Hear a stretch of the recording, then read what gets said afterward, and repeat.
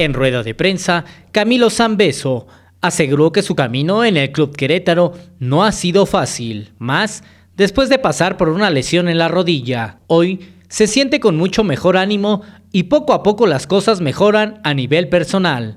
Por ahora, lo más importante es haber recuperado el gol en este torneo.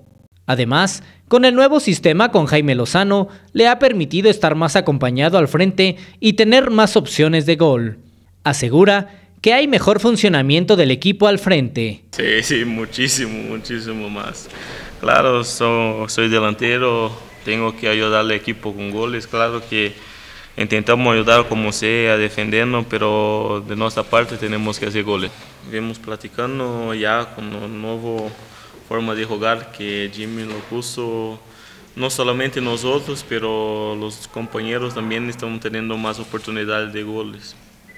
Con respecto a la sanción que impuso la Liga MX al Club Querétaro por el mensaje mostrado, rivalidad no es violencia, además de agregar varios acontecimientos en el Estadio La Corregidora, ante el duelo contra Pumas, Camilo Zambeso asegura que en su opinión no se debió generar esta multa hacia el club Querétaro. Especificó que lo único que se hizo es enviar un mensaje de estar en contra de la violencia en los estadios. Creo que fue un mensaje que nosotros teníamos de, de la no violencia, creo que la liga ahí se pasó un poquito, pero ya está, eso no nos toca a nosotros y seguir adelante.